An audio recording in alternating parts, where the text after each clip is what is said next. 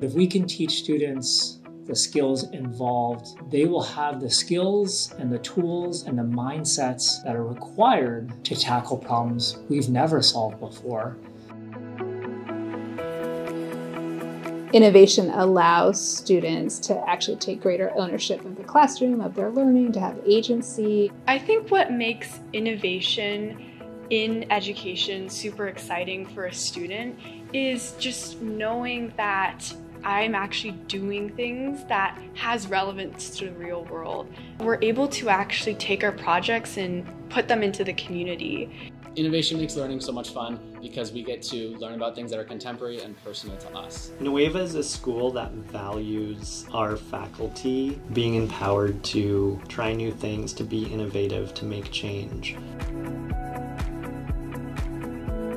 It's a model school, and that attracts experts and educators from around the world to learn and see it actually happening before their eyes. I love Mission 2. Uh, this is where we take the learning from Nueva and we enable other institutions to make use of this learning. We also learn from other institutions as we get them together to talk about our ideas and it makes Nueva better. The Innovative Learning Conference is incredibly valuable for educators. It provides a lot of thought-provoking speakers, a lot of chance for interactions that you wouldn't have in any other space. Innovation is often reserved for the people with means? How do I work with colleagues to really develop the kinds of understandings required so that when we say innovation, we're not talking about a specific subset of folks, we're talking about all folks. Nueva's Mission 2 is, is really serving Peninsula Bridge. Nueva's been so generous of spirit in solving problems, in bringing kind of their best practices to bear on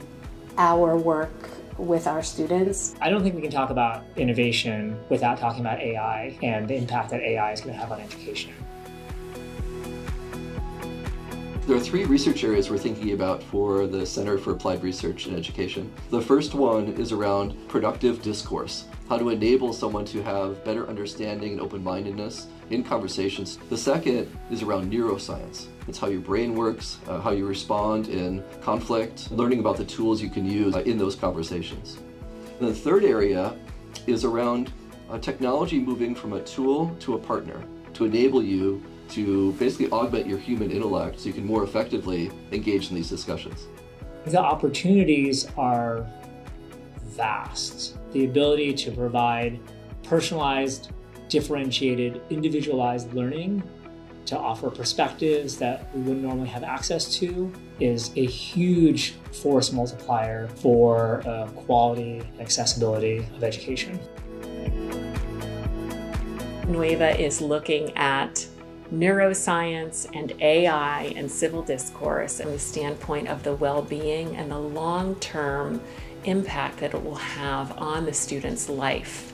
Contributing to a group and feeling validation and being seen and acknowledged in a group and feeling in relationship with people is what makes us human. If you don't feel like you belong, you could have the most innovative, wonderful place in the world.